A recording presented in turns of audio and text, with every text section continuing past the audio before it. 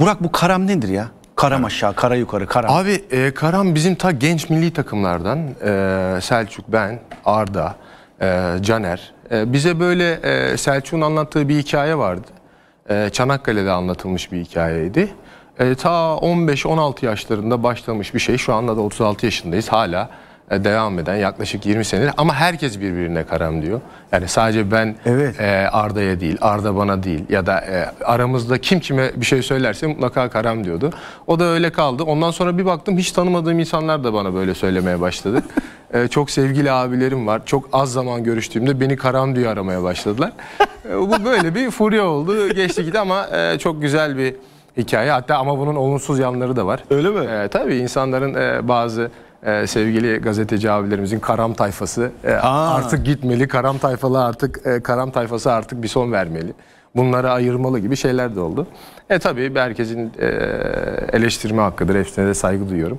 Ama e, ta 15-16 yaşından beri açıkçası Selçuk'un başlattığı bir e, hikayeyle çıktıydı. Selçuklu aranız nasıl? Şimdi herkes Selçuklu arası nasıl diye sormuş. Bir, bir şey, bir, aranızda bir şey mi var? Hayır her, Kırgınlık Selçuk yok hiç e, bir kırgınlığımız yok. Tabii ki de eskisi kadar samimi olamadık, olamıyoruz. E, ailelerimiz var, çocuklarımız var. Ya eskisi kadar samimi olamıyoruz derken görüşemiyoruz. Görüşemiyoruz, yani bunu böyle doğru ifade edeyim ki yanlış olmasın. E, ben Fransa'daydım zaten iki senedir. Onun bir hocalık şeyi başladı ama benim için değerlidir. Allah yolunu açık etsin. iyi bir hoca olacağını da düşünüyorum kendisini.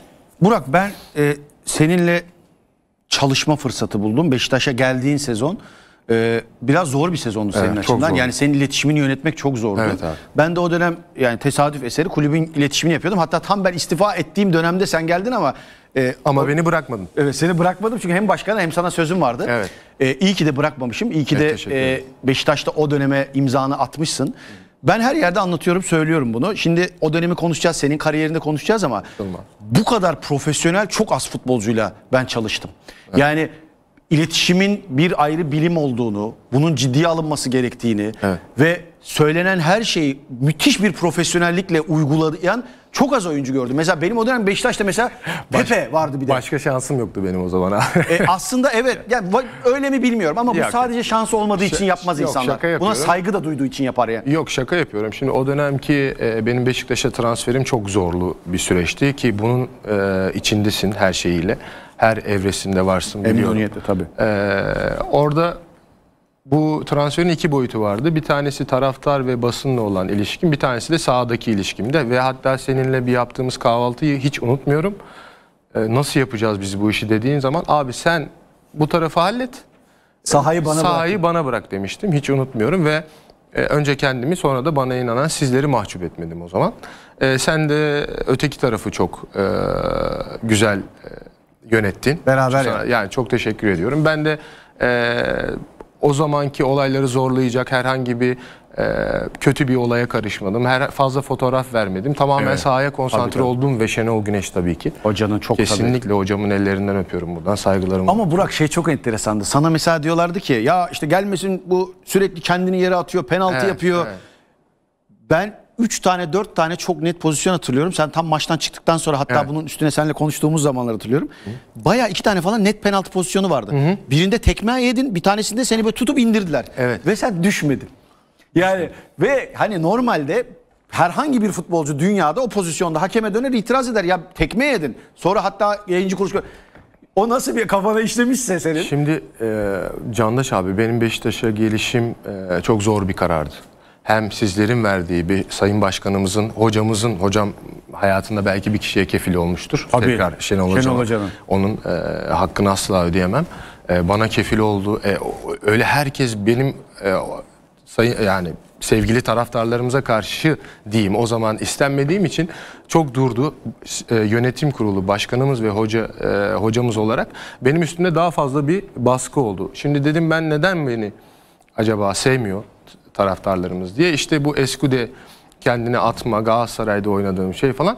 E, tabii ki ben psikoloji de okudum. Üniversite üniversitede okudum ama tabii ki bitiremedim futboldan dolayı. E, bilinçaltıma yerleşti düşmemek. E, o zaman da düşmüyordum çünkü taraftarlarımızın bunu bunu tekrardan görüp o e, eski olayın akıllarına gelmesini istemiyordum. E, ve gerçekten penaltı düşmen olan gereken yerlerde de evet, düşmüyordun. gerçekten penaltı olan pozisyonlarda da e, belki düşmemişimdir. Ama şöyle bir durum var. E, Beşiktaş'a geldikten sonraki ilk 3 maçım çok sancılıydı. hiç, Ya hiç unutmuyorum. Anlatsan onları. Ya tabii ki anlatırım ama hiç kimseye bunu bir kırgınlık, bir kızgınlık, bir e, isyan olarak söylemiyorum. Lütfen buradan O kavuşma maçı hangisiydi? Bursa maçı. Onu anlatsana.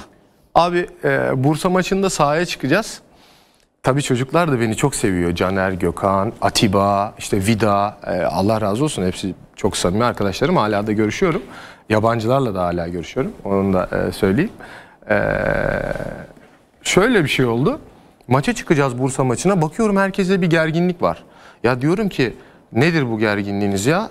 Beni ıslıklıyorlar, beni yoluyorlar. Bana e, kötü söz geliyor. Siz neden dedim gerginsiniz? Merak etmeyin ben dedim aşarım dedim bu işi. Onlar da beni çok sevdikleri için ya dedi üzülüyoruz falan. Hayır dedim üzülmeyin çıkalım kazanalım devam edelim. Ben bu işi aşacağım dedim. Sonra sahaya çıktık. Bütün taraftarımız e, yine ben ıslıklandım ve 10 kişiyi hepsini yanına çağırdılar. Oley oley yaptılar. Bir tek ben kaldım. Ama bakıyorum Vida'da, Gökhan'da, Caner'de yani o mahcubiyet değil de üzüntüyü hissedebiliyorum onlarda. var. Abi sonra bir baktım 40 bin kişi birden beni bağırmaya başladı. Yani böyle acayip duygulandım. Acayip böyle ağlamaklı oldum. Sonra hepsine gittim tek tek selam verdim. 2-0'da kazandık o gün iki tane gol attım. O gün belki de eee, taraf sevgili taraftarlarımızın çoğuyla eee, barıştım.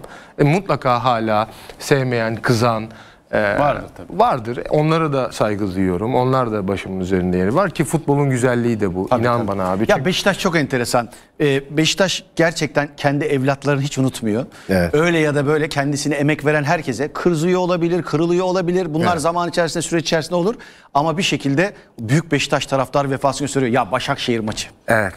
Benim mesela gerçekten ya hayatta böyle hani yapıp da mutlu oldum. Ya oldu bu iş dediği Evet. çok mutlu olduğum fotoğraflardan biriydi o. Çok güzeldi. Çok çok güzeldi. Çünkü abi e, bizim hiçbir hedefimiz olmadı olmayan bir sezonu oynarken Başakşehir'i yenip şampiyonluğun e, hedefi e, şampiyonluk hedefimiz haline geldi ve Başakşehir'e attığım gol de bu hedefi en büyük e, yolunu açan bir e, goldü bize. O gün artık o kadar mutlu olmuştum ki gittim taraftarımıza Bir koşmuştum. kucaklaşmanız var Evet, sizin. evet, ya yani çok- tribündeki Evet. o, o kareye sığan herkes sana sarılıyor. Evet. Sen de onlara sarılmaya Ben de çalışıyorsun onlara falan. Sonra takım arkadaşlarımız geldi. Ya ben dört büyüklerde de oynadım. Ee, hepsinde de sorumluluk aldım ve hepsinde de fedakarlık yaptım. Ee, aldığım paranın hakkını kat be kat verdiğimi düşünüyorum. Fenerbahçe hariç. Öyle mi? E, hariç Fenerbahçe'de oynayamadım, gol atamadım. Bu bu bir futbolcunun da yani bir insanın da hatalarını, yanlışlarını, e, olumsuzluklarını kabul etmesi gerekiyor ki gelişesin.